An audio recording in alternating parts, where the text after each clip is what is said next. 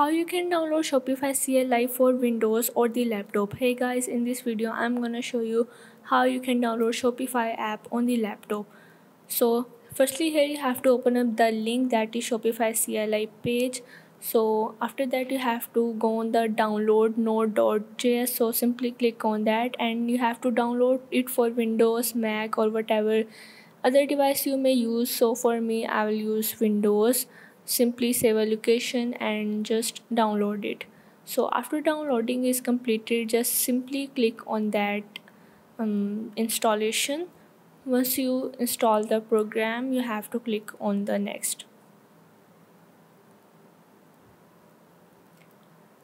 After the installation is completed just simply click on finish. Now if you want to check that node.js has installed or not just simply search for cmd or the command prompt.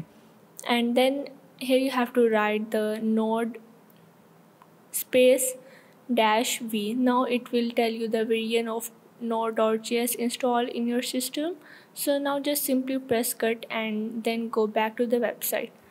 And then you have to download ruby dev kit 3.0 the simply select a ruby dev kit you have to click on the save to a location and then just install up the program.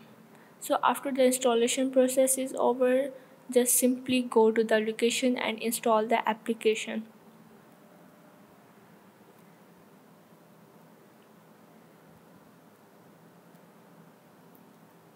Make sure to check all the boxes over here and then press next install the software so after the installation process is over just simply click on finish then come on from panel will open and in there just simply press the enter.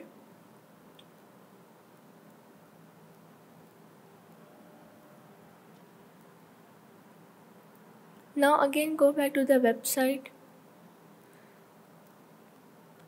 and now shift the browser to the side panel and on desktop just simply shift or you can also go on your windows. And here you have to open up the windows powershell. Now here you have to type this command into the powershell that is install shopify. And after that you have to simply press the, the enter. Now it will show the installation of Shopify CLI it might take some time so you have to simply just wait you can also copy paste the command on the PowerShell so after you have successfully opened up the Ruby installer you have to simply just uh, again open up your command and press cmd on your search panel. So then simply copy the code for windows or mac or see whatever the operating system you may use to simply copy that promote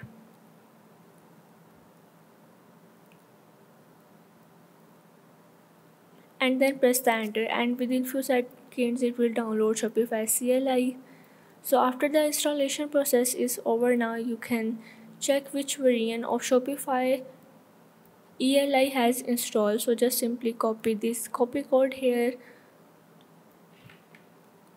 and then paste into on your command and that it will tell you which variant of Shopify you are using so I am currently using 3.0 and something.